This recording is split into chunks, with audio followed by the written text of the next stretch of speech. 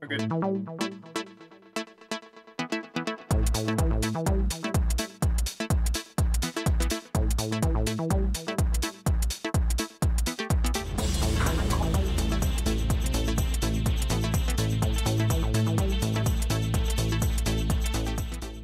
Good evening and welcome to the Citizen Oversight Board Quarterly Public Forum uh, for November 9th, 2021. Welcome to all of our attendees. I'm Julia Richman. I'm the new chair of the Citizen Oversight Board, and I'm joined by uh, our full board on the call today. Um, also, uh, the Office of the Independent Monitor, um, and we will shortly be joined by uh, the Director of Public Safety, uh, Murphy Robinson. We have a great agenda for the meeting this evening. And um, if we can move to the next slide and just go through that really quickly, set this up for everybody.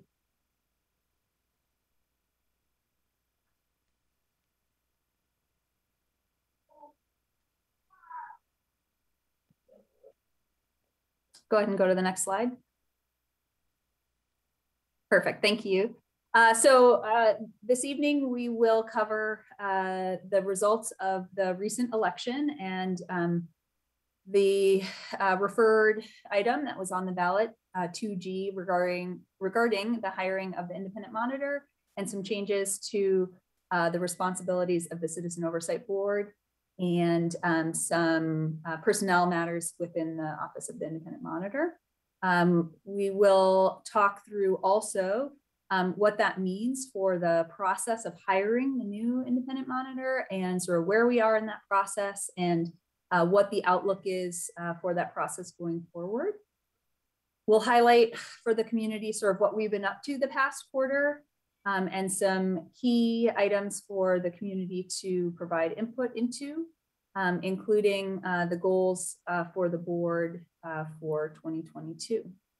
Um, once uh, Director Robinson joins us, we'll turn um, the mic over to him and allow uh, community questions uh, to be chatted to the director, and we can then open it up to general uh, Q&A, question and answer um, from the community. What we hope um, you can do tonight is use the chat function in Zoom to um, engage with uh, our moderators uh, to you know, provide any questions and feedback. Um, and uh, we will uh, work to kind of elevate the, the comments and themes that come um, from that dialogue. So with that, um, let's go uh, to our next uh, agenda item.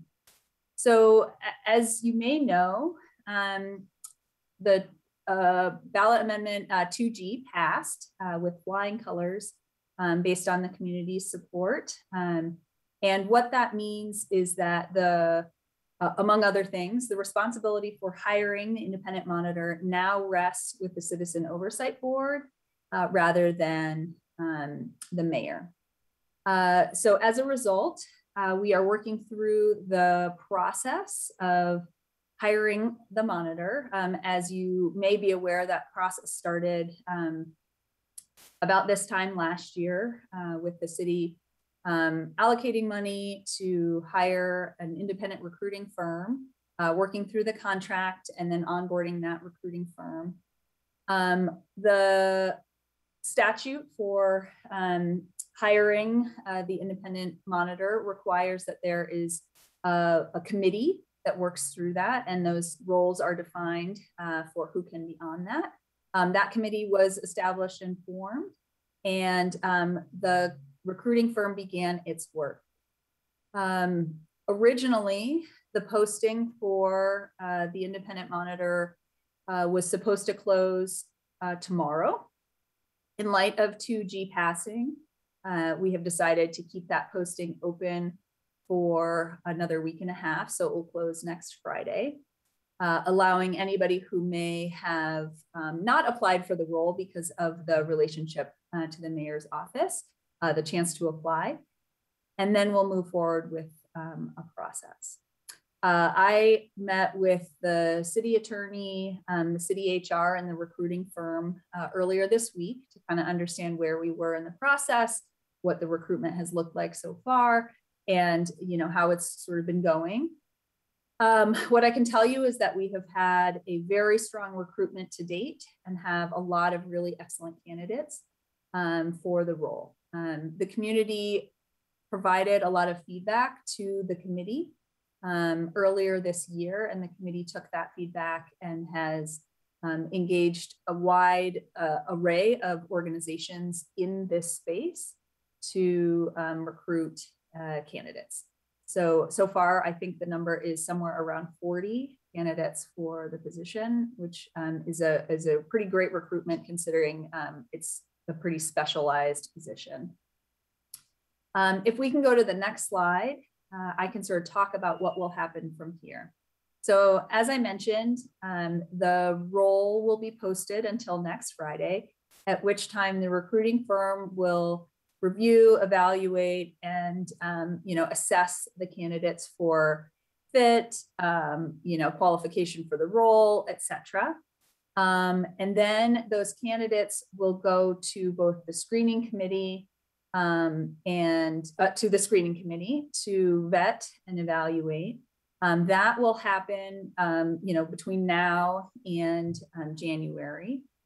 Uh, from there, uh, the committee, uh, the board, and the community will have the opportunity to engage with candidates um, in uh, various forums. Um, and our hope is that uh, the community will get to interact directly um, and, and hopefully in person uh, with uh, the finalists. And so asking questions, um, you know, uh, engaging with those individuals to, to, you know, give a sense of how you think they fit and then provide that input back to the committee and the board. Um, and then the goal is to really get uh, an offer out and hire the candidate uh, in early spring. This is a, a, rough timeline. We're working on finalizing um, the timing here, but wanted to provide at least a, a you know interim update um, to folks uh, so that you have uh, some you know sense of, of where things are going. What uh, we will also commit to as a board is providing kind of ongoing updates on how the process is proceeding. Um, so my hope is to have something like this timeline on um, this Citizen Oversight Board website, uh, so you can follow along, um, along with you know the information on the recruitment and um, you know sort of as much process information as we can provide. Um, and then, you know, that we are committed to following the timeline and, and moving as quickly as possible to hire uh, the new monitor while also being very mindful of um, the need for community engagement and dialogue about this rule. Um, so I'll stop there and, and see if there are any questions on, um, on this process or our timing to date. Uh, and then I'll also ask, you know, does this feel um, like a, a, good set of steps and a, and a good process to those um, on the line?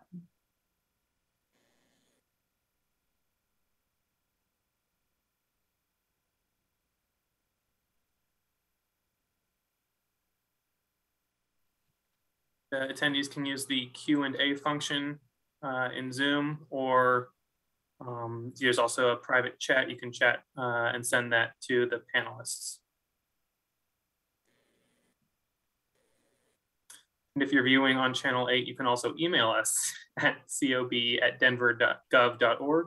I will be monitoring that.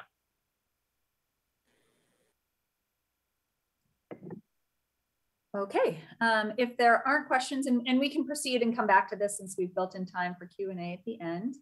Um, but you know, keep your chat and your uh, feedback coming as, as we proceed through the, the meeting. Um, moving on to the next agenda item, um, wanted to highlight a, a, few things about where we are and what we've been working on, um, in case you haven't been following along closely. Uh, you know, in terms of the past quarter, it has been a very busy quarter for the board um, including everything from hiring uh, Daniel, who is our uh, full-time staff member to support the role, uh, to support the board, uh, getting him onboarded and, um, you know, up to speed on the work that we're doing, um, engaging uh, him in helping us get organized. As you know, we're a volunteer board, and so having um, Daniel on was a, a huge priority for us and is already starting to make a difference. So welcome, Daniel, and um, thank you for for joining. I think you joined the first quarterly public forum like within the first week of of being um, on staff. So uh, now with a little bit more time under your belt, um, we're we're glad you're here.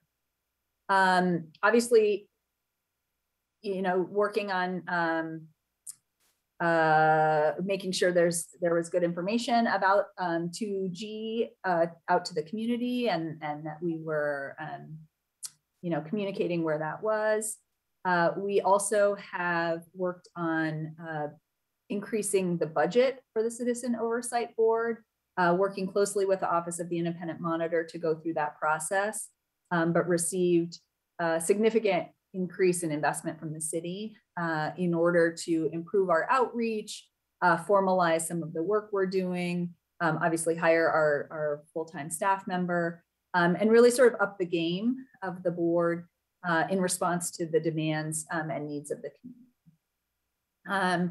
We have been engaging with uh, the Department of Safety on a number of process-related items, um, including following up from our previous quarterly public forum and um, you know really starting to engage community members in our board meetings. So if you haven't watched or participated in our board meetings um, the past couple of meetings we've had community members come and and sort of share their stories of um, you know how uh, engagement with the department of public safety has gone for them.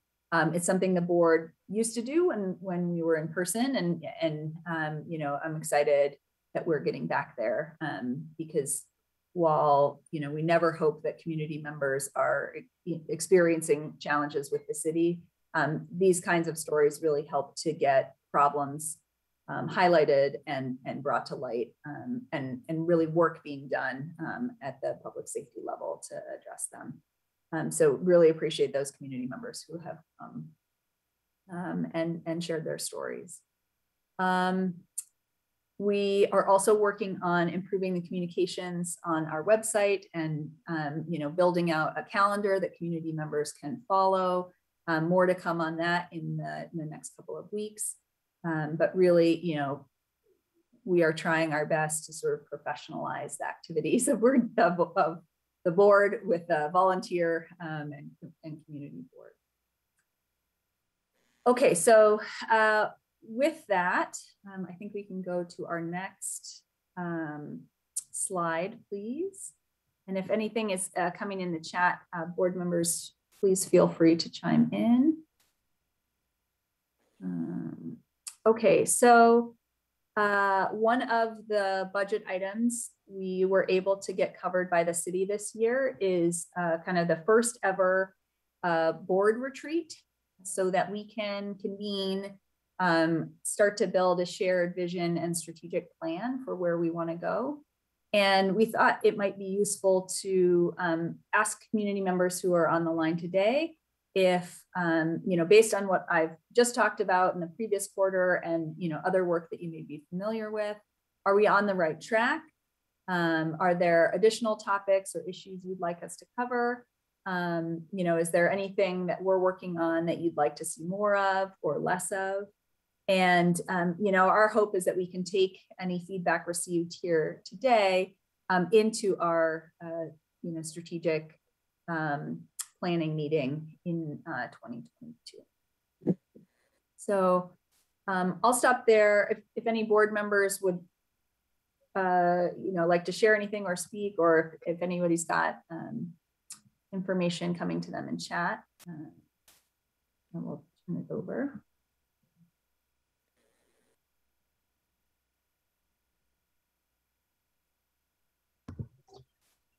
Julia, uh, this is uh, Katina. Can you hear me?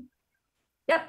Uh, Well, so thank you very much, Chairwoman, for um, yeah, setting the stage for this, um, sharing with the community what's been going on. Um, I think as we begin this part of the agenda, I, it might be useful to speak to um, what the board's um, mandate happens to be under the ordinance, um, to give folks maybe a sense of, you know, the scope of the work that we can do.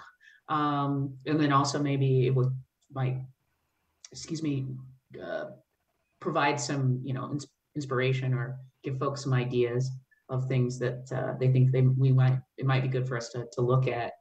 Um, and I, I mean I I can kind of recite them off the top of my head if that's okay. Um, I one is is uh, obviously assessing the effectiveness of the Office of the Independent Monitor. It's the monitor's ability to do the job, the the office's ability to do the job, and um, whether they're um, capable of doing it and uh, how effective they are. Um, second is making policy recommendations regarding um, various issues associated with discipline, um, use of force, um, and and it, it kind of goes on. Hiring, um, recruiting, and any issues really kind of that are policy related uh, and associated with the departments of public safety, the sheriff's department or the police department. And then I think sort of finally, there's just um, issues of concern for the community. And we may or may not have the jurisdiction to address them, but certainly we want to hear from folks if there's something um, that does uh, provide an opportunity for us to have dialogue, um, because we do have the advantage, or I guess the opportunity to communicate with leaders in public safety on a regular basis pursuant to the ordinance, um, which I, I think is a sort of a direct access um, approach that allows us to speak to issues that the community may have, even if we don't have the authority to, to change it. Thank you. That's awesome context. Um, I know a question came in uh, to the Q and A. Uh, Are you going to implement the 112 task force recommendations into the new office of the independent monitor? And so I can take that and, and other board members feel free to, to chime in. Um, so the first thing is that the task force recommendations are uh, expansive and, and comprehensive in their thinking. Um, so certainly they do not all address or relate to the work of the independent monitor. Um, and in some cases, even the, the work of uh, the Department of Public Safety, um, you know, things like housing, homelessness, et cetera, um, you know, programs that are uh, handled in multiple parts of the city. So um, to the degree that those, you know, don't apply uh, to the work of the OIM, um, you know, that, that won't be necessarily a focus of ours. What uh, I, can say too is that we have just recently begun uh, re-engaging with the task force to really get deep on uh, the work and, and where we can share uh, initiative and effort. Um, that is, you know, very much in initial conversations, but finding ways for, um, you know, shared progress uh, can be incredibly valuable, both to the um, COB and um, to, uh, you know, the, the impact on the community. So certainly where um, it makes sense, you know, we're excited about um, that community feedback and input. Um, the last thing I'll say is that we have also started conversations with the Department of um, Public Safety to understand, you know, where they are and um, the work they are doing on implementing the recommendations. And part of our goal in having Director Robinson on the call today was to give the community an update on, um, you know, the topics that have been discussed in, in previous quarterly public forums, including the dashboard, improving transparency on the work, and um, other activities that they're taking on to, to implement those um, recommendations. Would anyone else on the board or Greg um, want to speak to um, to that?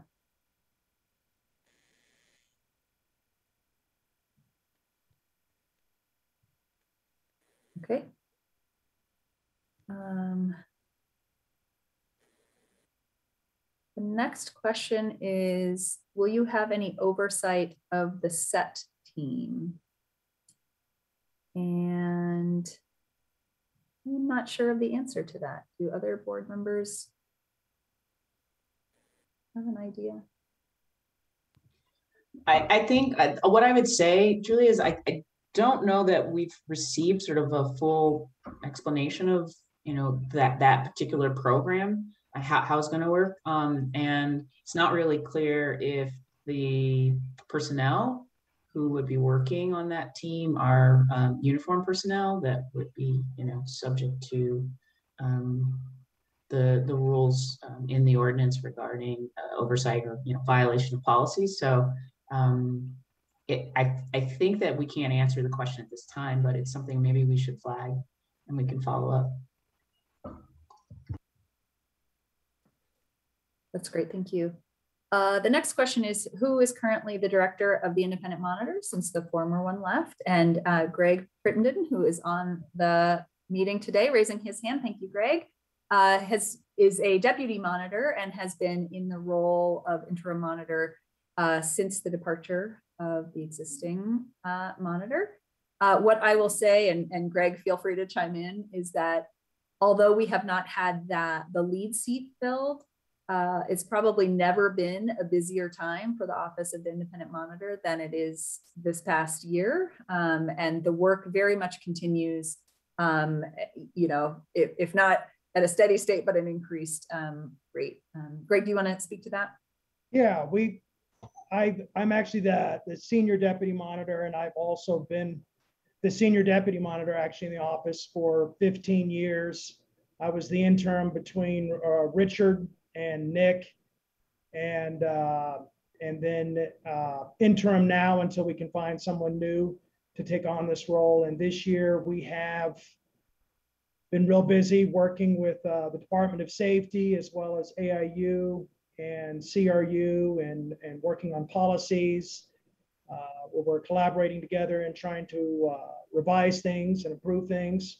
And um, yeah, our office has been working on a number of things. And so I'll continue in the interim role until someone's found. And um, boy, just off the top of my head, it- we're busy. I, I actually just uh, put in uh, 12 hours and uh, still going, but that's typical. So I don't know if anyone had any specific questions or to me at all.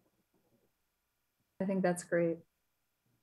Um, the next question is how much is in the budget approved um, by the council for the OIM and the COB? Um, I, I can't speak to the OIM's budget, um, but I'm wondering if um, Stefan, if I, I'm, the number is escaping me um, for what our budget was approved. Um, if you happen to remember, if you want to highlight Yeah. that. I, I didn't, I'll be honest, I didn't remember, but I just pulled it out to, re- to refresh my memory.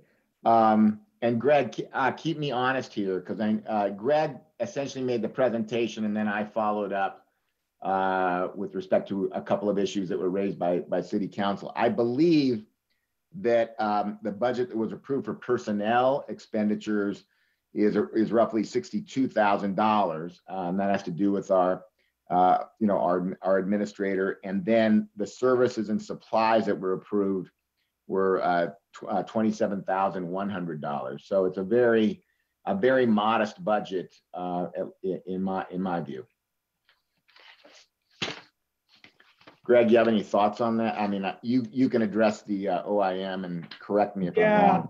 Yeah, We, we, we didn't ask for an expansion this year, uh, kind of waiting to see, uh, what the new monitor will want to do and how they'll want to, uh, do the office. So we kept our budget the same. Um, and Stefan, I don't, I don't have the figures on me. I don't know if you have them there, but, um, I would have to get back to you. I can do some quick looking to see what our budget is. Um, But I- you're correct, I think, uh, Stefan, as to the Citizen Oversight Board budget. Um, and, and I know for other governments it's true, but, uh, does the city publish its budget, um, in a place that's available to constituents? So if somebody wanted to follow up, okay. Um, so perhaps we'll, we'll follow up with just what, what is the link for all that, so you can look at all of the budgets of the departments related to this. Um, I'm not seeing any other questions in the Q and A. Um, board members, anything else coming through. We did get a question via email. uh, from- And that is how someone becomes a member of the Citizen Oversight Board. Great question. Uh, and very timely considering we have two open positions on the board. Uh, we are hoping to fill those as soon as possible, uh, recognizing how much work we have ahead and um, the clip of that work. Um, so there is a, uh link on the city's website that uh, allows you to apply for the Citizen Oversight Board. Um, from there, uh, there are kind of two channels. One channel goes uh, to the mayor and one channel goes to city council for selection and, and prioritization. Um, there are interviews and um, then an appointment um, by the respective groups um, who have authority there. Uh, I understand that, um, you know, we have a- maybe a dozen folks who have applied for the two open um, positions. Uh, and, you know, we'd love to make sure that we're really getting a lot of interested community members to apply for those positions. Would other board members like to say anything about that process or? um, Again, if there are people in the community that you recommend, um, again, encourage them to apply as we are always looking for some talented people in the community um, who are interested and have a passion for this. Um, so for the people who are um, in the Zoom, I put the link to the boards and commissions uh, page on uh, the chat, and so you'll have access to that there. Uh, for everybody else online, I was easily able to Google City of Denver Boards and Commissions, and you were able to find the direct link.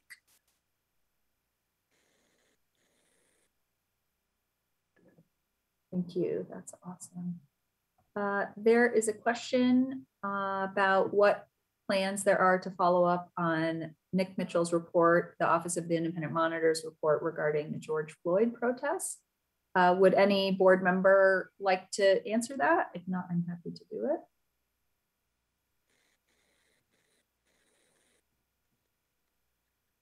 No takers? Okay. Uh, so, so I'll start and if, if you've got thoughts, please, uh, add in. Um, I would say as part of our ongoing oversight of the public safety departments, uh, you know, it is part of our process to ensure the departments are, uh, committing to and, um, responsive, uh, to the, the work and the recommendations of the Office of the Independent Monitor. Uh, the George Floyd protest, uh, report is no different. Um, I understand some actions have been taken to address and correct um, the uh, issues that were identified in that report, but there's uh, significant work to do still as well. Um, we have regular meetings with uh, Chief Pazen, and uh, this is a topic that comes up uh, frequently, um, either thematically or directly uh, as we meet him. Any other additions to that?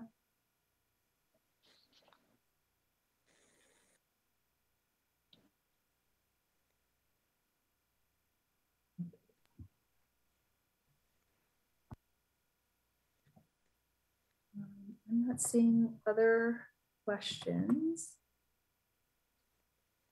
There's a little bit in the chat. Um, one comment of moving forward, it would be helpful for, or helpful if the nominating committee for the COB had a budget for outreach. Um, I think this was part of our budget requests in just trying to improve our areas of outreach to the community. Uh, now that we have Daniel on board, uh, we hope to do some of that better engagement, do flyers, when we get back in person, when it's safe and ready, um, just being able to have those community uh, meetings to engage uh, potential future board members. So yes, would love that.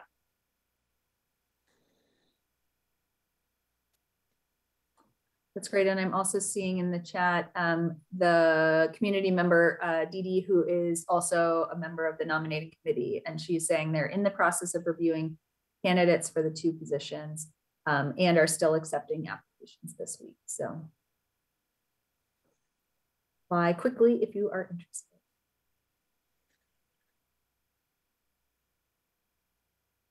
Okay, well, maybe let's shift gears uh, for a little bit. I understand uh, that Director Robinson is not going to make uh, the meeting, um, but that uh, Chief, Chief Deputy uh, Executive Director Mary Dulacki um, and Transformation Policy Director Emily Luack uh, uh, are on the um, meeting and, and are happy to, to join and answer questions from the community. So with that, if you have a question for uh, the Department of Public Safety, please enter that into the Q and A section of um, the meeting and uh, they'll do their best to answer.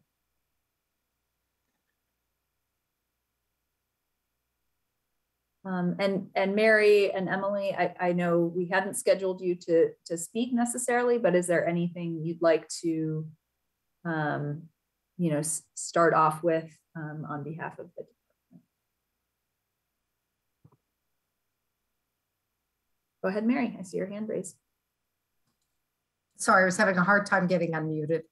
Um, First of all, can I just explain for um, everyone in attendance and as well as the public, we had an officer who was shot at an incident um, just, it's less than an hour ago, actually. And so um, uh, Director Robinson um, immediately went over to the hospital about 20 minutes after hearing of it. So um, I- I'm sorry. um, I know that he was looking forward to meeting with you all this evening and um, we'll try and pitch, pinch hit for him. If I could address something that came up, um, Katina, I think you were talking about the set team and what the set team um, is going to be and is not.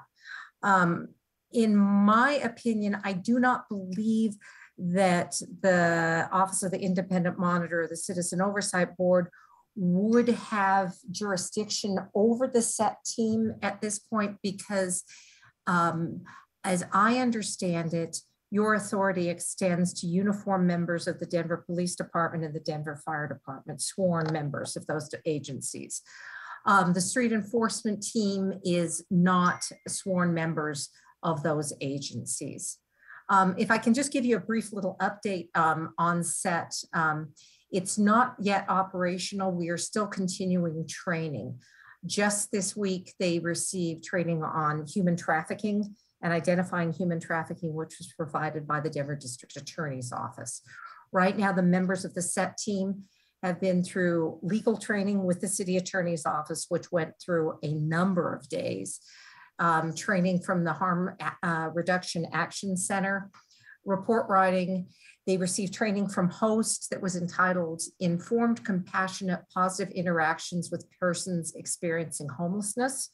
They also received um, training from the Denver Health uh, Mobile Crisis Response. Scheduled training um, will still um, is that yet to be completed is with STAR, mental health first aid, crisis intervention, as well as CPR. Um, you may, if you're out on the streets, you may see set team members shadowing the homeless outreach team um, with the DPD right now. They may be offering resources, um, standing by um, to assist with getting property stored and in that kind of capacity. So they are being acquainted with some of the individuals out on the street right now. We anticipate they're going to become operational by the end of the month. Unfortunately, we've had to stretch out the deployment of this team, uh, partly based on some uh, issues that we had in supply chain with getting uniforms. Um, part of the issue uh, with getting them out there is we want them to be easily identifiable. So it's important that they be in uniform. And so until that can't can happen, um, we're not going to actually have them operating, even if they are fully trained out. Um, the uniforms are going to be gray polo shirts with the Denver Public Safety logo, their names monogrammed on the front, as well as um, identifiable winter gear. So, pardon me, my phone's barking.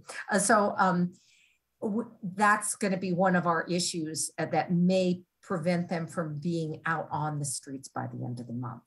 But that's the set team um, update that I can give you. But does anybody have any questions on that? Karen's got her hand raised.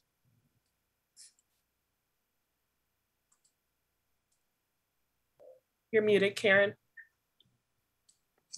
Sorry for attending our meeting this evening. Um, I'm curious as to uh, the types of folks who are uh, making up the uh, set team. Can you give us a little background on uh, what they do or you know what their what their uh, uh, what what their interests are in being part of the team?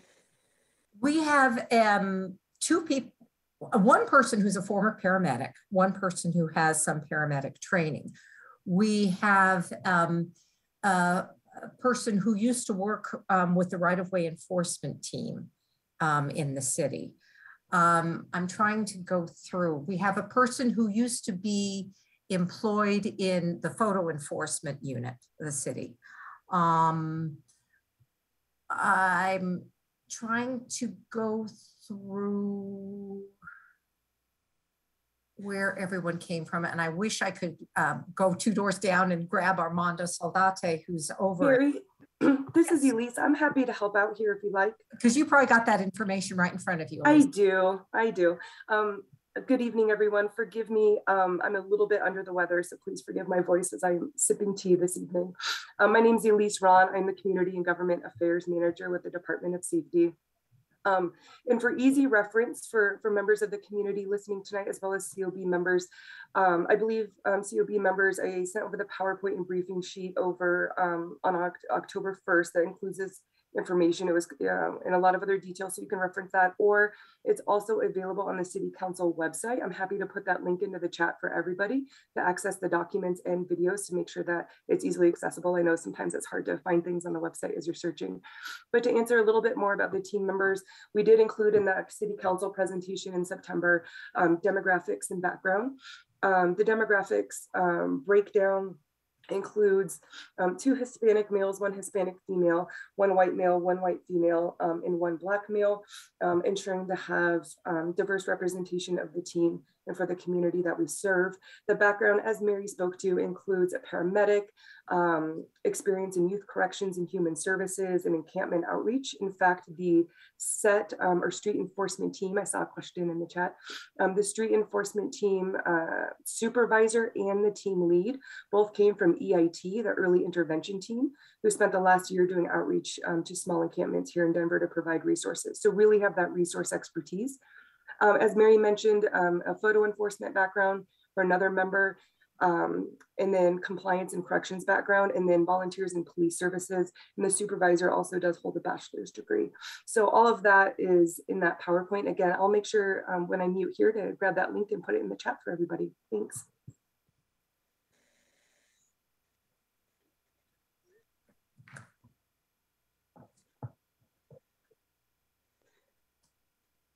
Mary, any other topics you'd like to cover?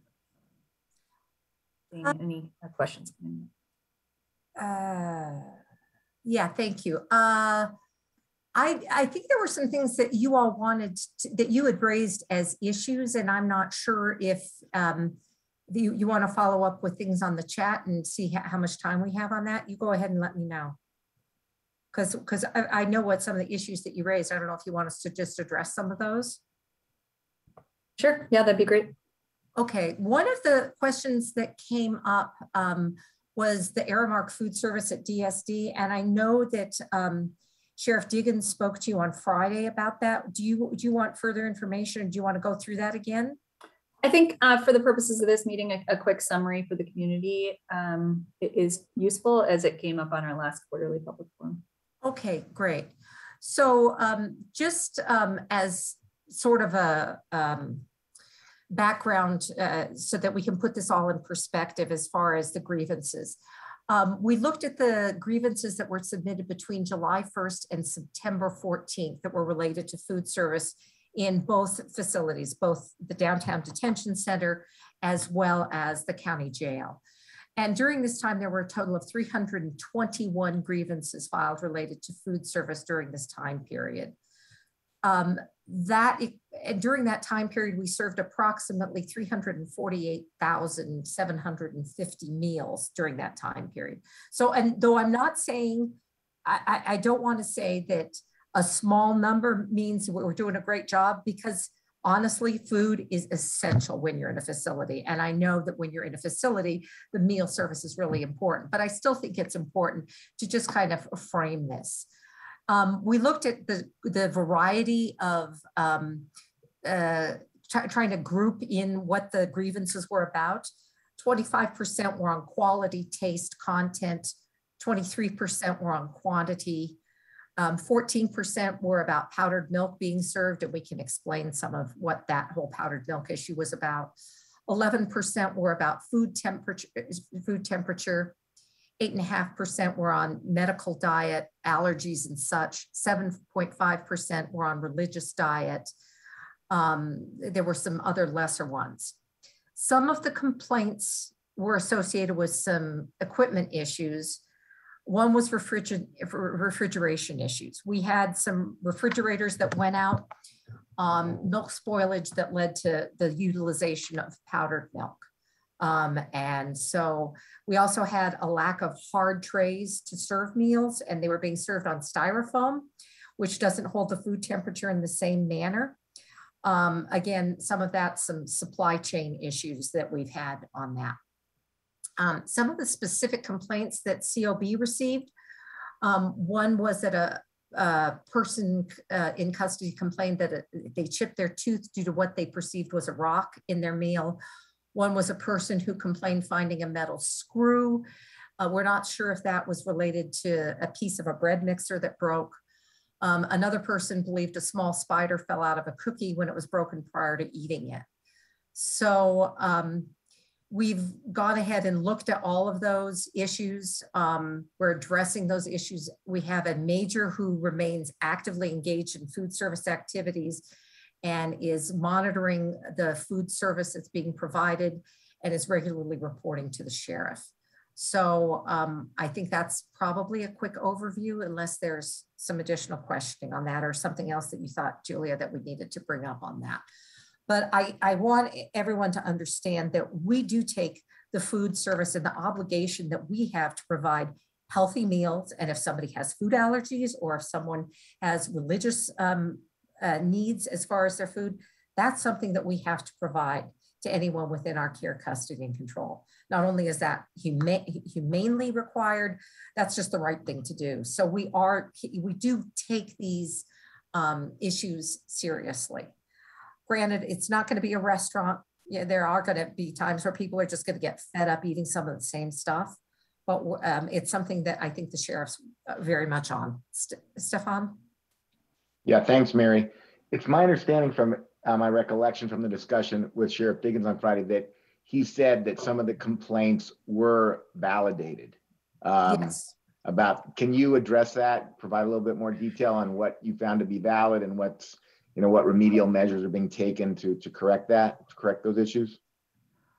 Well, part of the problem, I, I know that some of the complaints uh, uh, specific related to milk spoilage and um, the amount of milk and the food that we lost as a result of that.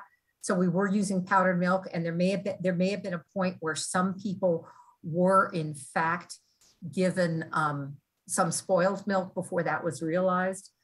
Um, I'm trying to go over these and see if I, I don't know that I have any specific notes on that. And unfortunately, I was on the road when I was listening to the COB meeting on that day.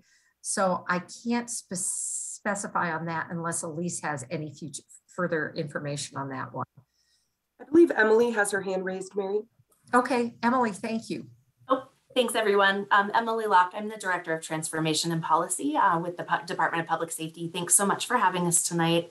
Um, I just wanted to uh, follow on what Mary um, indicated as well. I believe that some of the remedial efforts that were taken, um, I believe the sheriff spoke specifically to um, concerns around the quantity of the food provided, and then also in terms of the consistent, um, I'll call it delivery of the food. So for example, um, adding quality assurance checks and making sure that those appear or that those occur regularly, um, specifically so that items like salt and pepper are provided with the meals every time. Um, those were some of the items that were not occurring um, and some of the substantiated or validated complaints, I should say. Um, and then additionally, Um, he is assigned a major, uh, Major Lance Alexander, who oversees the county jail specifically um, to work with the vendor, make sure those quality checks are occurring, um, to make sure that um, the quantity of the food provided is appropriate. Um, my understanding is that there is also a nutritionist um, that reviews the, the menus prior to them being served um, to the persons who are um, in our custody. And so making sure that those standards are met as well um, around the quantity of the food. So I think those were just a couple quick examples off the top of my head as well. Thanks, Em- thank you, Emily. Other board questions for the Department of Public Safety representative?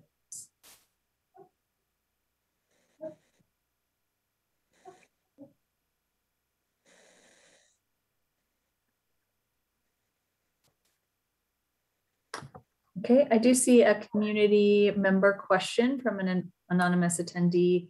Uh, would it be possible to have an ex-police officer on the set team? I suppose they might be able to help with the link between law enforcement and the community. I, th- thank you. I, I think that right now, because we do work very closely with the officers who are on what was described the hot team previously de- designated as the homeless outreach team. Um, we are presently having that link with the law enforcement. Um, having a former officer on the set team as we hope to possibly expand if it, the pilot that we're working right now is successful, that's certainly something we could consider.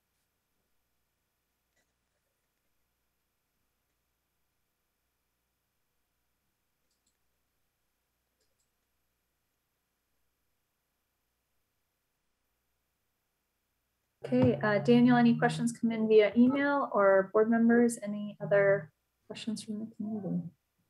I think we were hoping for an an up, just a status update on the dashboard for the 112 recommendations.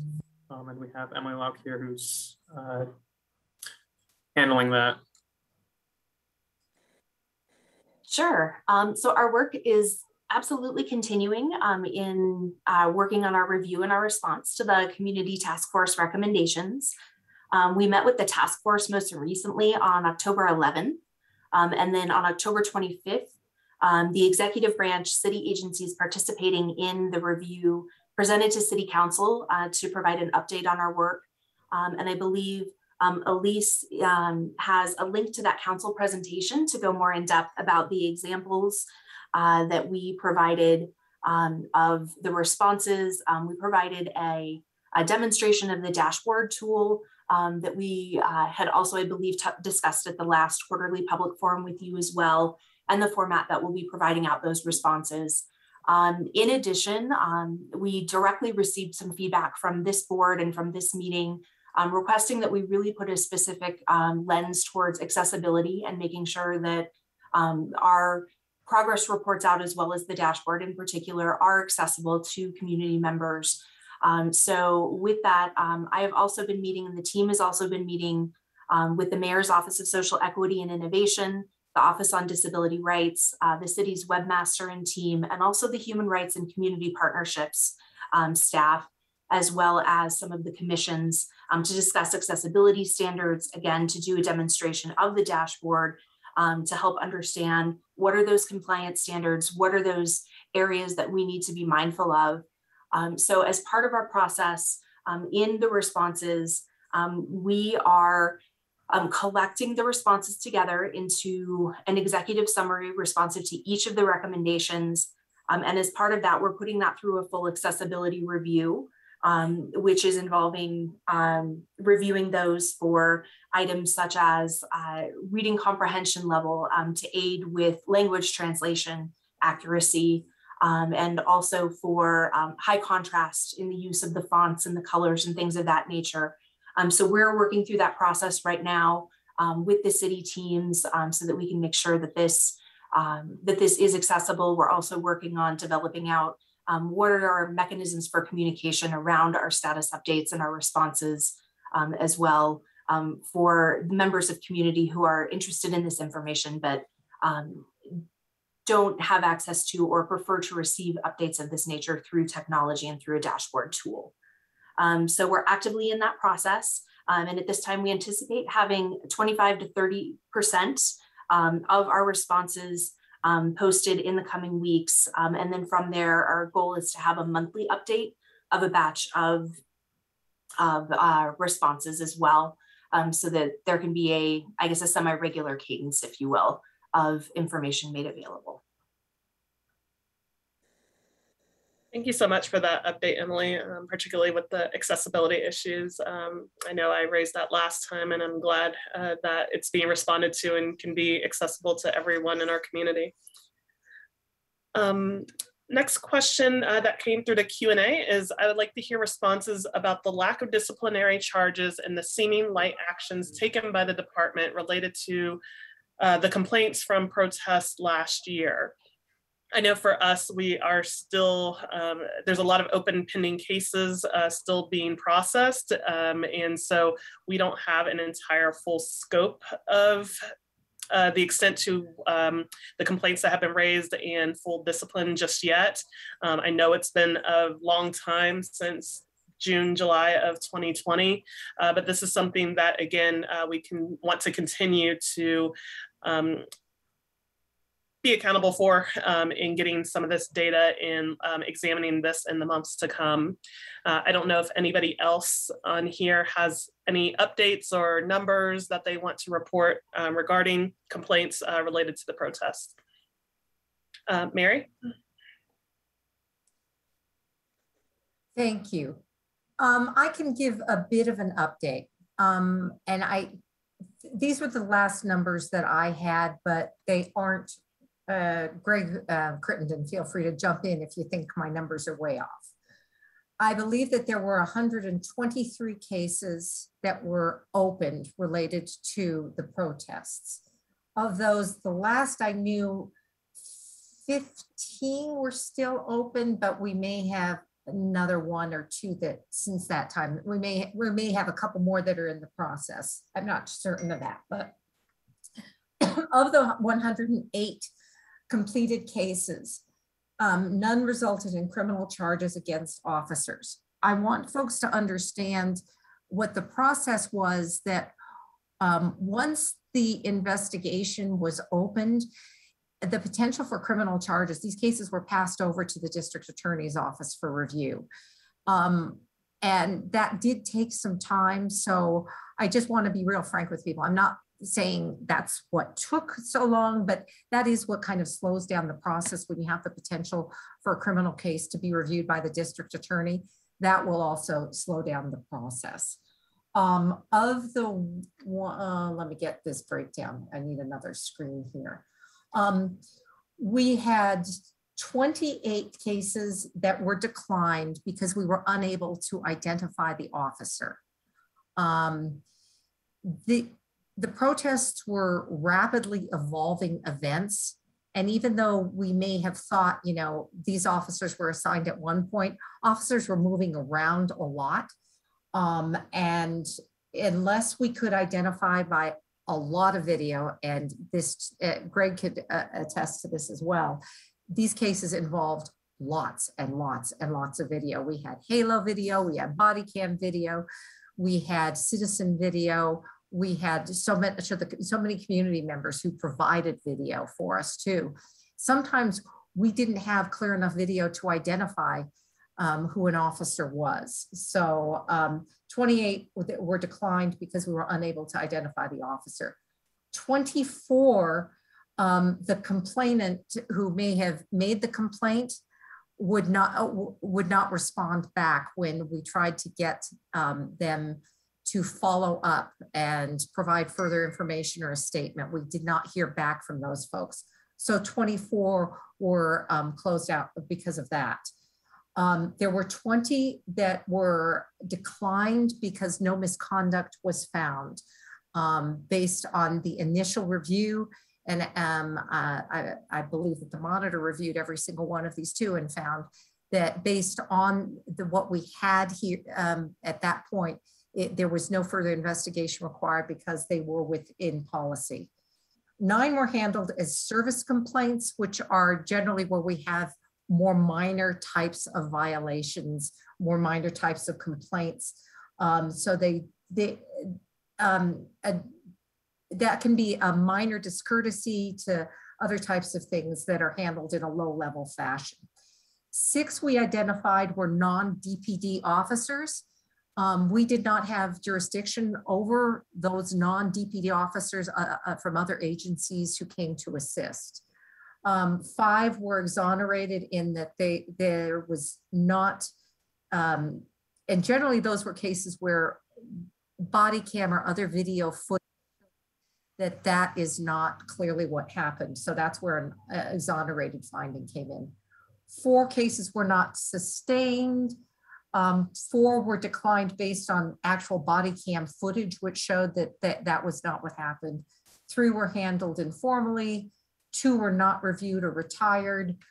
One, the complainant actually withdrew their complaint. We had um, one, do we have two different officers whose cases are still under appeal, so I have to be very careful in um, talking about those. One um, officer was suspended for 10 days for violating the chemical agents and munitions policy. Um, another officer was suspended for six days after um, an inappropriate force uh, case. We had one officer um, that received an oral reprimand for a body worn camera violation um, policy that was, and body worn camera policy violations are scheduled discipline. So that's why that came out as an oral reprimand. But the inappropriate force case against him was declined. One was an officer who received a written reprimand for violating social media, uh, media policy. Um, I understand that um, people may feel that there were a lot of incidents that should have been disciplined, but I, I just want people to also understand the complexity of these cases, the amount of video review. I think we took the situation seriously and where we did in fact have violations, we disciplined, uh, for example, on those two officers, it was clear that there were violations there. But all of these investigations with the oversight of the independent monitor's office um, took a long time, partly just because of all of the video. And sometimes in these chaotic, ever changing events, it is hard to actually identify officers or actually identify um, um, a violation. I, what may have seemed as a violation, you know, uh, at one set of eyes when there's um, when you're looking at all of the video and you can see what the officers were facing, you, there may be some justification that may not have been um, as apparent during the heat of the moment. There may have been some justification and some of the officers' actions may have been within policy and or training at that time too. So uh, it's hard to just make generalizations, but that's the best I can. I don't want to make it seem, um, you know, I'm defending um, what seems like a lot of cases that didn't come out as um, a sustained case. But I think that when you have that breakdown that I gave you, you can understand what the difficulties were in actually identifying some of these individuals that may have had some sustained violations. That's probably the best I can say at this point. But I see Katina's got her hand up. Hi, Katina. Hi, uh, Deputy Director, like Executive Oh, Director. just call me Mary, please. Uh, you know, no, thank you, Mary, for that summary. Um, I think it's helpful. I, I know we had it and we shared it um, um, publicly. Um, but for purposes of this, this discussion, it's very helpful to have that framework. Um, my question, um, it's kind of twofold. It pertains to those cases where the um, the offending officer or the accused officer was not a DPD officer, and so um, there wasn't, I guess, jurisdiction to enforce our policies. Um, I think I want to know, I guess, can you give us a sense of how serious those charges were and, or, you know, how harmed were the people involved? And if there was any sort of referral to the departments where those officers actually came from, because um, I, I, think as a citizen of Denver, I, if I, you know, I was seriously injured or I felt as though, um, you know, there was use of force that was inappropriate, and I was just told, well, sorry, that wasn't, you know, that's our, that wasn't our office, we, officer, we can't do anything about it, I'd be, I don't know, that, that'd be cold comfort. Um, and then I, I think related to that is understand that um, in response to the monitor's office report on the protests, um, the department um, was had agreed to uh, work on negotiating agreements with um, other um, police departments uh, in the area. And I, I guess I just want to know is, you know, is this issue fixed in the future? If there's a, a problem, um, we decide, Denver decides that it needs help from a neighboring agency, are we going to be able to hold those officers accountable to, for not following our policies here in Denver? So you've got a bunch of different points there, so remind me when I don't touch on one of them. Yeah, All of those cases were referred back to the agency where the officer came from. Um, we uh, have agreed that there will be no mutual aid from another agency who comes in without our requiring that they follow our use of force policy. They will not be able to bring in any unauthorized um, weapons that we don't authorize, and they will have to follow our use of force policy. Um, that is part of the agreement um, that we have as part of the stipulations that we've made in some, some of the federal court actions as well. So um, we, we will not um, be um, engaging with any agency who does not in fact follow our um, uh, use of force policy. Um, we can't, we can't do that. They have to be. So um, that's uh, uh, here, here, um, I've, we have two mutual aid agreements that are presently in effect. And what these both say, I'm going to read from them. Uh, it, um, adherence to this agreement entails only the equipment authorized by the DPD. Um, they will abide by the direction of DPD commanding officers regarding use of force and crowd control techniques. They will have to wear body worn cameras. They will have to follow our um, policies. So um, we're still working on this. We, we made a commitment that any mutual aid agreements that we enter into will require that the officers abide by our use of force policies. So Thank, thank, thank you for that, Mary. So just clarifying question, uh, or Uh-huh. maybe it's two. So with regard to the, the cases that did arise that got referred back to the other agencies, do, do we know what happened with them? Or did those agencies investigate them? Um, you know, was any action taken? I, do not know that honestly.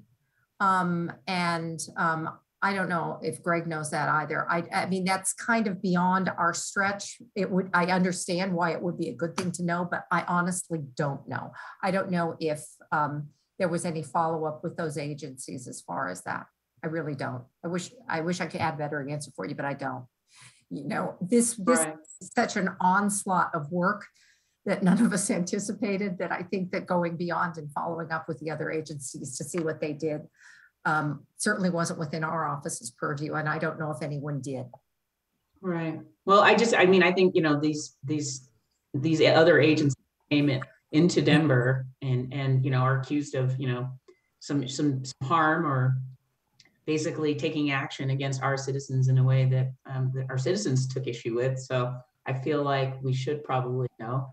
Um, I, I think my other question, clarifying question is, um, when you're describing the mutual aid agreements that we now have in place and the commitment you've made, I, I think my, my question is, we're, we're requiring them to do these things, that they have to follow our policies. What are our, what's our recourse if they don't? Do we, can, can we then take action if we need to? I mean, what happens if, even though they've agreed that they're going to come and provide aid and you know follow our policies if what if they violate our policies?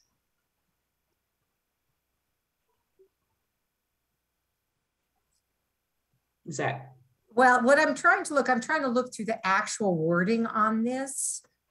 And i mean clearly i mean there's they're still potentially liable for this. I'm trying to find out i mean i think that what we, our clear action would be would we would be able to terminate this. Um, so our only account, way to hold them accountable if they violate our policies, pro- providing mutual aid is to terminate the agreement? Oh, I, I'm trying, and honestly, you know, I'm just trying to skim through this right now, and that may be a better question for the city attorney's office. I'm not trying to punt here. Um, this wasn't something that I was involved in drafting, or, a- a- a- and so I, I'm just kind of like trying to skim through this and see what our recourse would be. Um, I think that's probably a better question for the lawyers, for the city attorney's office. I know that's not satisfying. I'm not trying to hide behind the lawyers, but Uh, no, no, I hear you, Mary. I mean, I- I I think, I see- I'm you understand what I, I'm trying to get at is, right, if, if we can't hold them accountable, are they gonna hold themselves accountable, right? I mean, where's that, that piece of the puzzle if, if there's a violation of, if there's, you know, some inappropriate use of force by another agency against a Denver citizen, I wanna know what can be done about it. Yeah, Kat- Katina, uh, Yeah. just to jump in for a quick second, I've written a few of these. Um, it- Normally, there may, and I don't know what's in Denver's, but I, I do know that generally there's an indemnification clause somewhere. And there should, and generally with MOAs, there's a way for um, the partner providing mutual aid to get repaid um, for a portion of, or all of their costs for providing mutual aid. So I'm not sure if there's a callback provision in, in these, but that is a good question for the city attorney. I mean, what is the recourse for breach of contract, which is really what we're talking about here? So I mean, I hope there's some recourse. It would be kind of silly if there wasn't.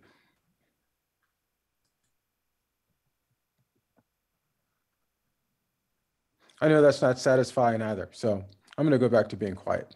A lot of uh, unsatisfying answers. We will take the um, action item to follow up the city attorney's office and, and provide information um, on this. I think It's a really great question and uh, go ahead. Evan. Thanks, Julia. So Mary, there, there have been, I mean, thank you for the summary of, of the uh, disciplinary cases that ro- arose out of the protest. This may well, and as a lawyer, I, I understand that you may not be able to get into some of this, but there, there is, um, there've been a lot of press lately about litigation that has been filed against the city. Obviously, you can't comment on that, um, arising from injuries that people sustained uh, during the protests. Is there some overlap between people who have brought those lawsuits and people who have brought complaints in the disciplinary, uh, through the disciplinary process? Again, I know you can't comment legally on them, but is there some overlap there? Because I'm sure that the, it- the community is well aware, is probably much more aware of those lawsuits uh, as they've been publicized by the Denver Post and otherwise than, you know, than any internal disciplinary proceeding. I'm just wondering if there's some overlap there. Some of the overlap that you're talking about in some of the recently filed cases, and uh, do we have discipline in, in those cases? Yes. Um, I hesitate to speak specifically onto those cases. The city attorney's office would probably uh, strongly encourage me not to be speaking on those specific cases. I believe that, uh, but I think that what they've said in at least one of the cases is that we were unable to identify an officer. Um, so I can't say for certain if we, um, those, the, the two cases that I think you're referring to, I do not recall, and Greg Crittenden can certainly uh, tell me if I'm wrong. I don't believe that those two cases came through the disciplinary process to our level of um, a disciplinary process. So, um, yeah, It- it- Greg's kind of raising his eyes and trying to think, but Yeah, I, I, I'm not sure on which ones have or have not, so I don't want to speak out of turn on it as well. I know that your numbers sounded um, right in regards to, I think, how many cases are potentially still open and how many cases we're investigating went through the process. I, I'm, I'm not sure about the other figures, Mary, or where we were at on those. But um, we will be looking at those, our office will um, as well, and reporting on that in the future, once we get all those cases uh, completed. As for the lawsuits, I'm not, I'm not exactly sure. And again, I wasn't asking anybody to comment on the substance of the lawsuits. I was just wondering if there was, an i- if they, if there was, if there was a uh, disciplinary action, the same person filed a disciplinary uh, proceeding complaint who has filed the lawsuit. That was my question. I think you understood that, Mary. Yeah. I, I don't know that I totally understood that. I believe that at least in one of them, that they did file a complaint. Okay. Mhm. We have another community member question. Is a six-day suspension normal for inappropriate use of force? Uh, Is 10 days the minimum for chemical agent misuse?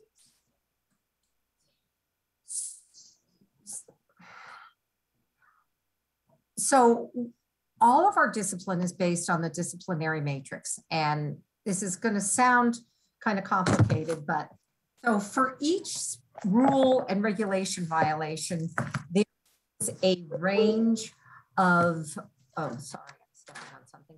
There is a range of uh, conduct categories that are assigned to that specific rule violation. And then what the role, the role of the reviewers and then actually the people who impose the discipline is, is to try and determine what the appropriate conduct category is based on the facts.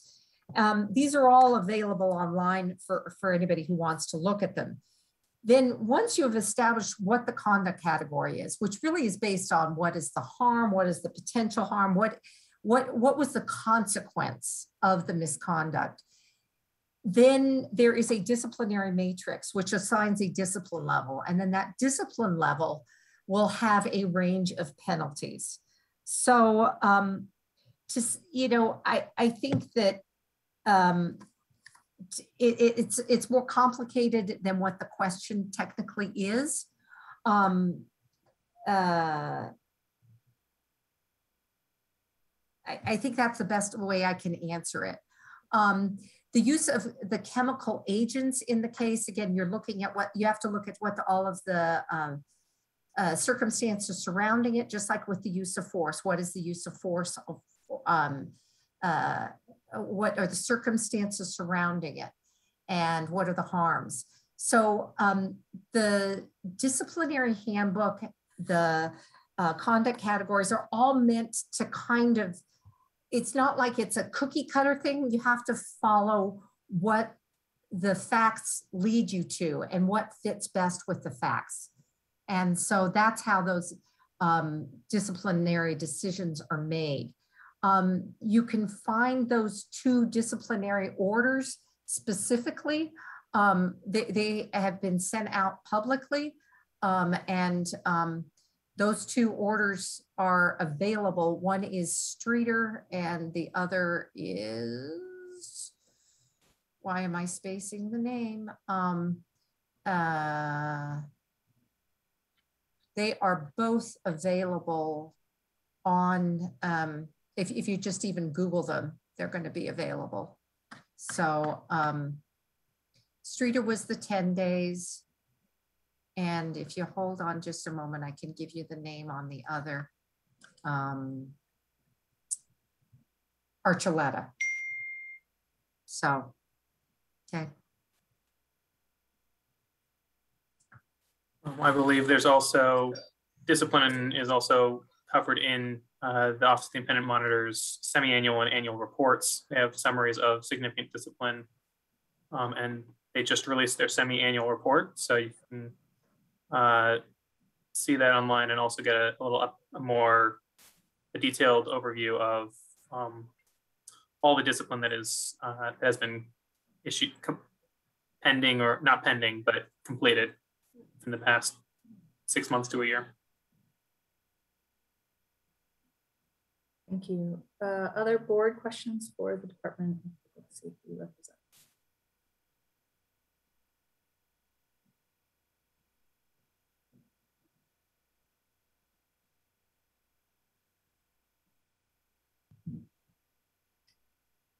Okay, thank you for all the questions so far. Um, And as we sort of get close to the, the end of our meeting, um, I'll just open it up to community members for any additional questions, comments, concerns um, that you may have that you would like the board to address or um, yes on this call.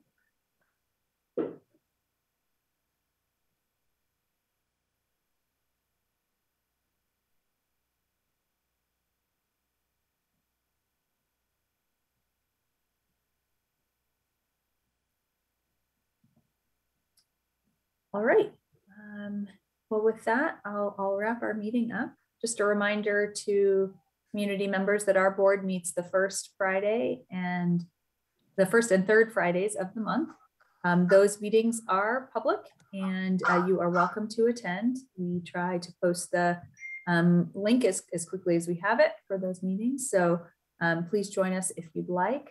Um, a reminder that we uh, are looking for two new board members and, and get your application in uh, ASAP if you are interested. And uh, stay tuned for more information about um, the hiring process for uh, the independent monitor. We're looking forward to engaging you in that. So thank you very much uh, to all the board members in attendance, uh, community members for your questions, and representatives of the uh, Office of the Independent Monitor and Department of Public Safety. We really appreciate the dialogue tonight. Thank you so much. Record.